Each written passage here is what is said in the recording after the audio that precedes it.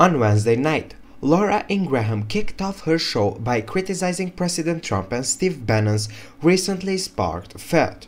The Fox News host began by claiming the left is hoping that Bannon's remark about the Trump Tower meeting Donald Trump Jr. had with Russian liar who claimed to have dirt on Hillary Clinton will breathe life in special counsel Robert Mueller's ongoing investigation, which she said started a Pavlovian feeding frenzy in the media.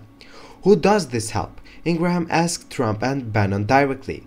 Does this kinda unseemly tit-for-tat advance for the consecutive populist agenda at all? What's going on through, frankly, both sides and minds? And is what Bannon wants, Ingraham said. I know Steve Bannon. Is that what he wants?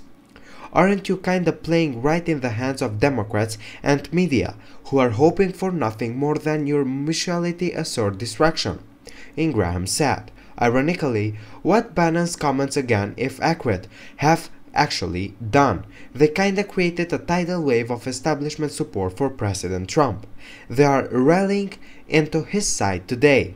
Not exactly how we saw this story developing.